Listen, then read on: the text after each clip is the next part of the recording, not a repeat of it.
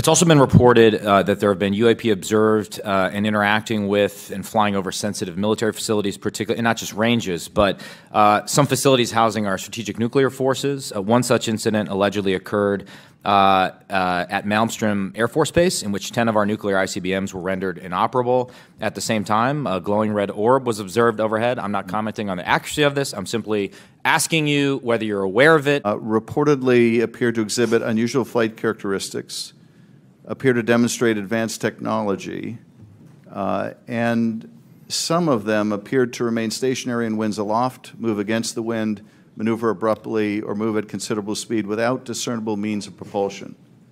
Um, More than 50 years ago, the U.S. government ended Project Blue Book, an effort to catalog and understand sightings of objects in the air that could not otherwise be explained. For more than 20 years, that project had treated unidentified anomalies in our airspace as a national security threat to be monitored and investigated. In 2017, we learned for the first time that the Department of Defense had quietly restarted a similar organization tracking what we now call unidentified aerial phenomena, or UAPs. Last year, Congress re rewrote the charter for that organization now called the Airborne Object Identification and Management Synchronization Group, or AIMSOG for short. Today, we will bring that organization out of the shadows. This hearing and oversight work has a simple idea at its core. Unidentified aerial phenomena are a potential national security threat, and they need to be treated that way. For too long, the stigma associated with UAPs has gotten in the way of good intelligence analysis. Pilots avoided reporting or were laughed at when they did. DoD officials relegated the issue to the back room or swept it under the rug entirely, fearful of a skeptical national security community. Today, we know better. UAPs are unexplained, it's true, but they are real. They need to be investigated, and many threats they pose need to be mitigated. This is the open, unclassified portion of our hearing. We'll have a closed, classified part later. It's important for the public to know that the classification of information exists to protect national security, not to try to hide the truth. Uh, the larger effort that is being undertaken to study and characterize UAP reports is an important step towards understanding these phenomenon, what we know and don't know. And I look forward to hearing more during both the open session and the closed setting about how DoD and the IC are undertaking that task. Uh, are these uh, phenomena that we can measure? That is, uh, instruments report there is something there. It is not the human eye confusing objects in the sky. Uh, there is something there, measurable by multiple instruments, and yet it seems to move in directions that are inconsistent with what we know of physics or science uh, more broadly. And uh, that to me poses uh, questions of, of, tremendous interest and uh, as well as potential national security significance. For example, let me share with you the first video that we have here today, which shows an observation in real time.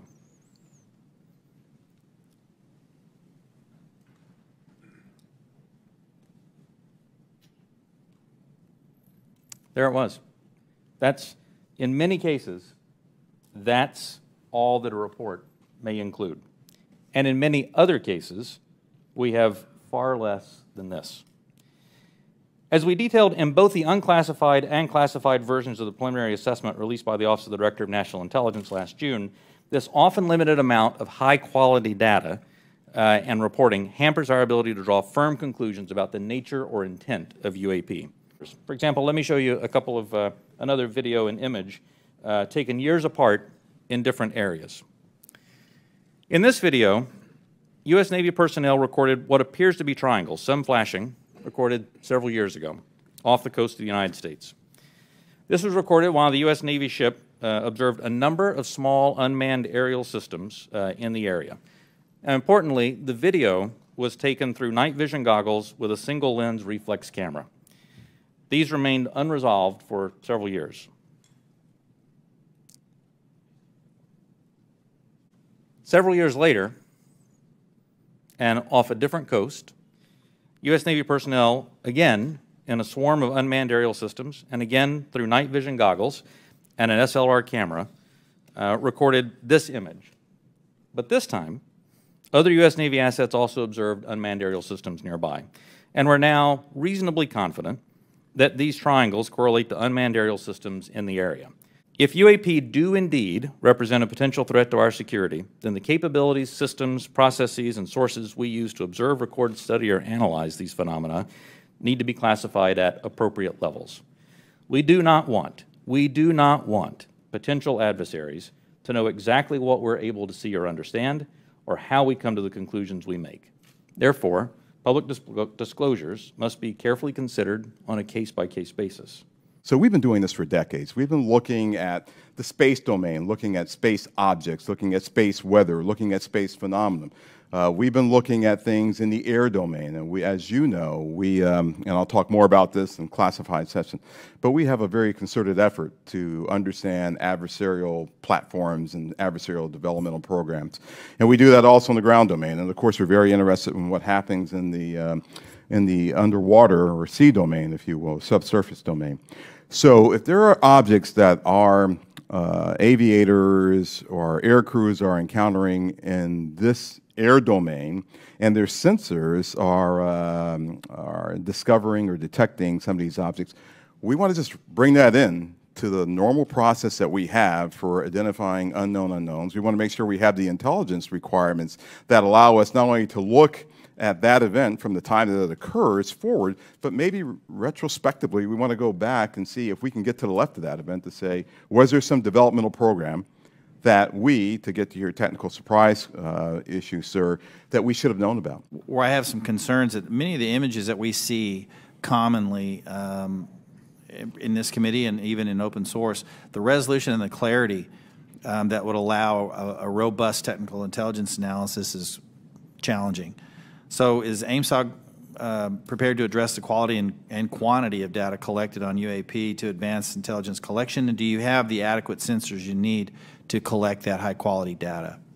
One of the lines of effort that we have is looking at our sensor capabilities and to understand whether or not, as the video showed that uh, Mr. Bray um, displayed, uh, sometimes it's very fleeting uh, data that we have on some of these objects. And, and, and we want to make sure that, one, uh, our systems are calibrated uh, to actually be able to collect on the objects. You know, our sensors today are they're calibrated for specific things. We want to make sure to calibrate it for things of this nature, things of this size, things of this velocity, if I can use that term.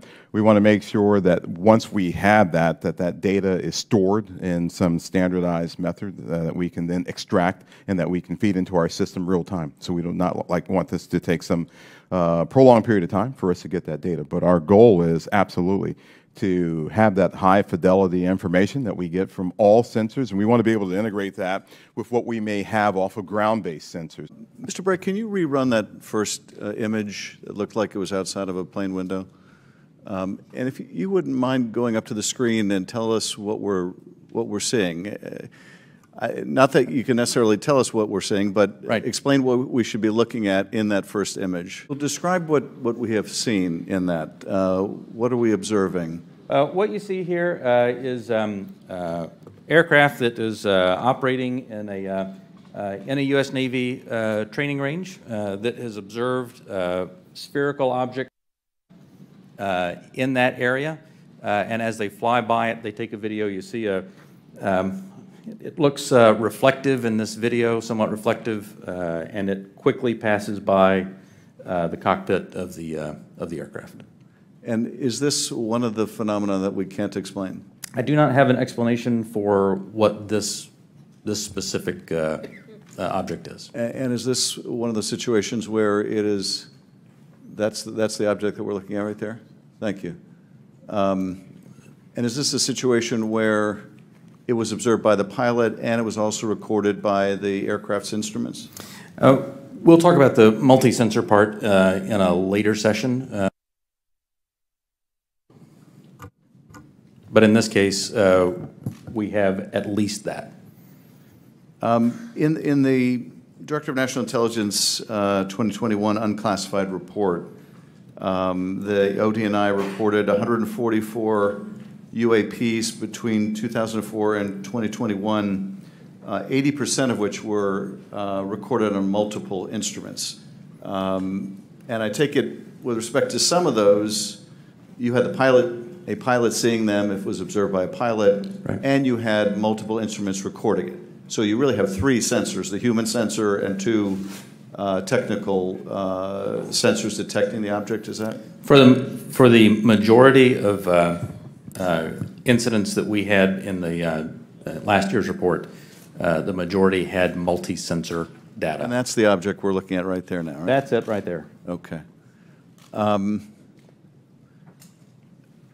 Last year's report also said that of those 144, 18 of them uh, reportedly appeared to exhibit unusual flight characteristics, appear to demonstrate advanced technology, uh, and some of them appeared to remain stationary in winds aloft, move against the wind, maneuver abruptly, or move at considerable speed without discernible means of propulsion. That's pretty intriguing. Uh, uh, And, and if you're able to answer this uh, in this setting, are we aware of any uh, foreign adversary capable of moving objects uh, without any discernible means of propulsion? I think I would, uh, without discernible means of propulsion, I would say that uh, we're not aware of any adversary that can move an object without discernible means of propulsion. Are there any non-military reports coming forward of similar events? Or is it all coming from military? Uh, The UAP Task Force has a very good working relationship uh, with the FAA. Uh, They have very good working relationship with other parts uh, of the U.S. government so that we can ingest reports uh, from. um, uh, Do we have from any reports non-military? Yes. Thank you. That's, that's, that's my question. Do we, um, there are other people besides uh, the U.S. that have had these experiences and reported them? Is that correct? There are, that's correct. Uh, Is it uh, all of our allies, or is it allies and adversaries? What have we learned publicly? So some of that, I think, sir, we'll save for closed session. a number of these UAPs, you said, we can't explain.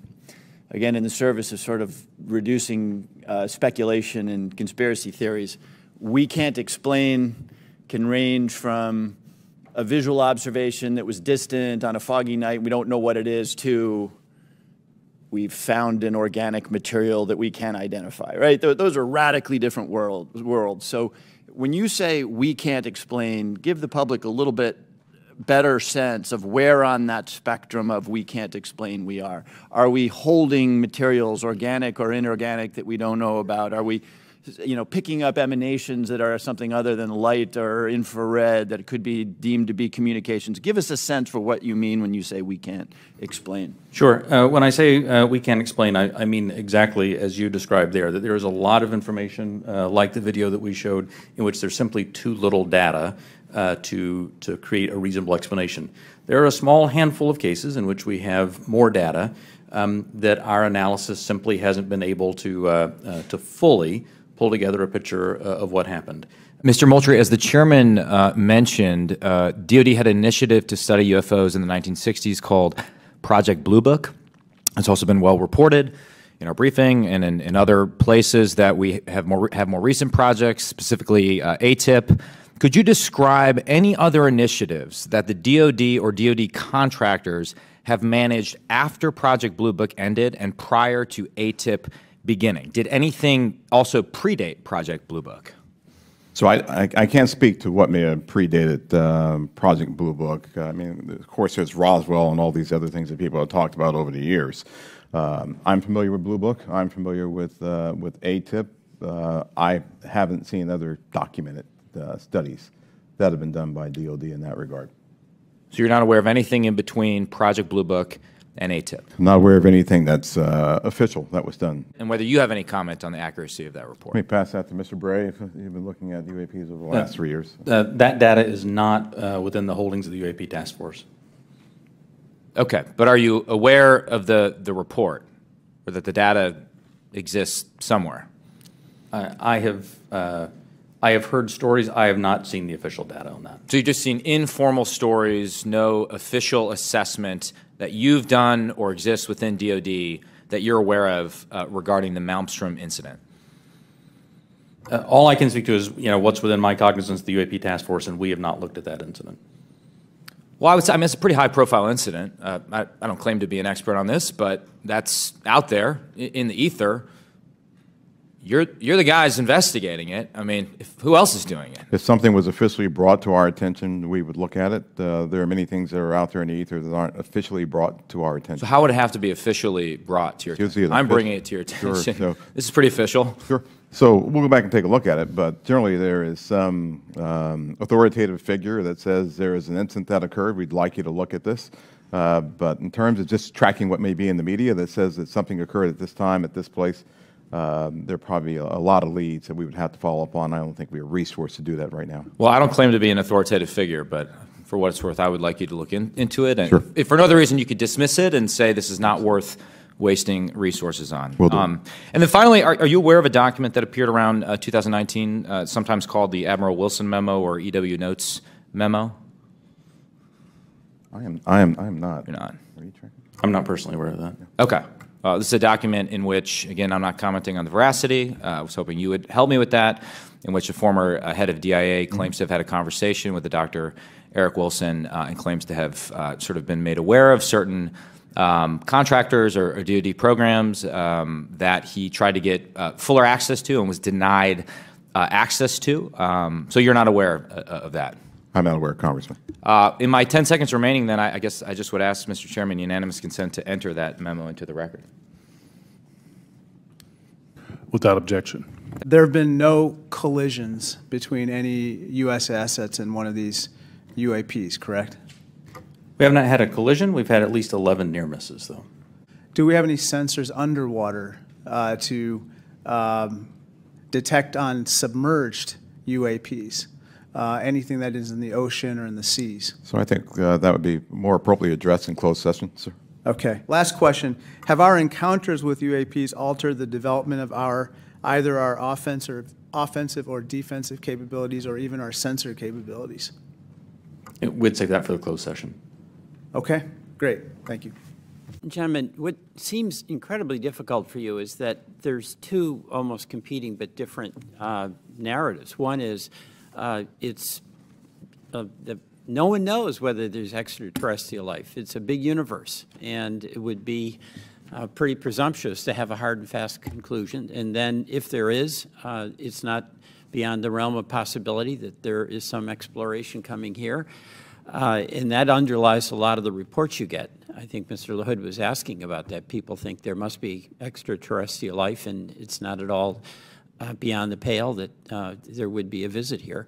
On the other hand, you, as the DoD, you have the responsibility to make sure uh, that our national security is protected and that if there are surveillance drones or uh, active drones that can disable our systems, uh, that has to be analyzed, has to be stopped.